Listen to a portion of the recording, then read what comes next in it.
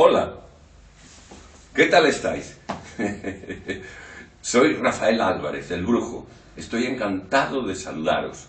Os espero en Palma de Mallorca del 14 al 19 con San Francisco Juglar de Dios, de Darío Fo. ¿Eh? No faltéis. Chao. Un saludo.